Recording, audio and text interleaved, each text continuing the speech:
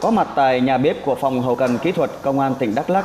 Trong những ngày này, chúng tôi đã ghi nhận một không khí khẩn trương trong việc góp sức phòng chống dịch Covid-19.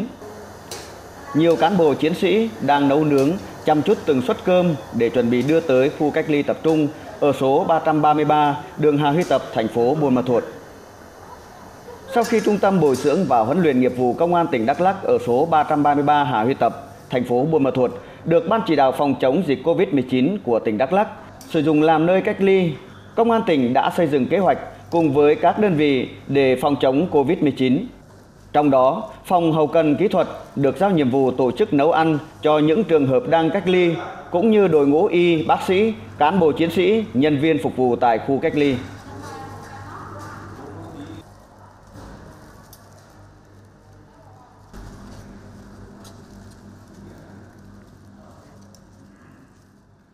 Ờ, Ủy ban tỉnh cũng như Sở Y tế cũng như chỉ đạo của công an tỉnh là lấy cái 33 hải tập làm trung tâm để cách ly những người dân nghi lây nhiễm. Thế thì cũng báo cáo ông chí là hiện nay là về kinh phí ờ, và các vấn đề khác chưa có chủ trương chính thức, nhưng riêng lực lượng công an chúng tôi lấy chế độ ăn của cán bộ chiến sĩ làm định mức cán bộ chiến sĩ ăn như thế nào thì ờ, mọi người dân đều ăn như thế.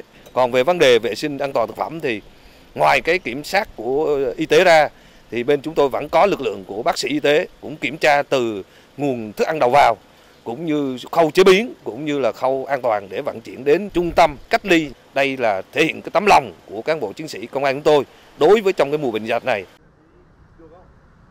Khu cách ly số 333 Hà Huy Tập nằm tách biệt với khu dân cư, bên trong khá rộng rãi thoáng mát với sức chứa khoảng 200 giường. Hàng ngày, toàn bộ nơi đây đều được các nhân viên y tế khử trùng thường xuyên, môi trường luôn được giữ gìn vệ sinh sạch sẽ. Ngày ba bữa, sau khi nấu nướng xong, từng suất cơm đã được các cán bộ chiến sĩ phòng hậu cần kỹ thuật của Công an tỉnh Đắk Lắk mang đến tận tay cho những người đang cách ly. Đón nhận từng suất cơm, những người đang được cách ly ở đây đã không giấu được niềm cảm xúc.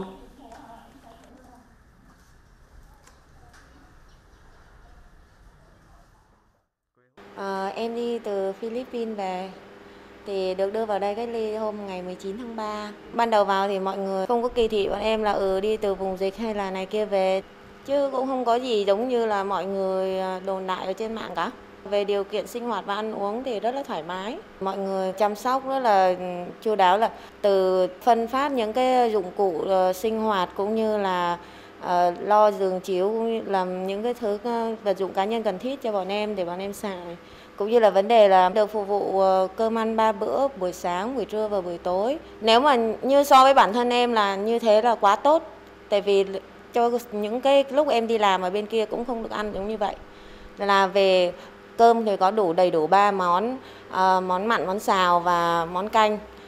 Giống như là mình ăn ở gia đình thôi và cơm gạo rất là ngon có tội là cho hơi nhiều nên ăn không hết thôi sau khi đến đây cách ly thì ờ, được sự quan tâm của um, các y bác sĩ và các uh, anh công an thì tôi cảm thấy là sức khỏe của mình càng ngày càng tốt lên và tôi cảm thấy rất là yên tâm ạ.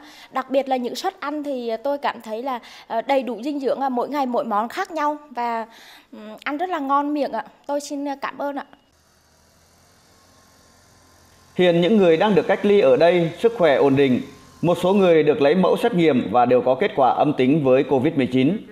Và đến nay, tỉnh Đắk Lắk chưa ghi nhận trường hợp nào dương tính với COVID-19. Những việc làm thiết thực, những suất cơm nghĩa tình của công an tỉnh Đắk Lắk trong mùa dịch đã để lại những tình cảm và ấn tượng tốt đẹp trong lòng những người đến cách ly tại khu cách ly tập trung. Những việc làm ý nghĩa đó đang góp phần chung tay cùng toàn đảng, toàn quân và toàn dân ta đẩy lùi dịch bệnh COVID-19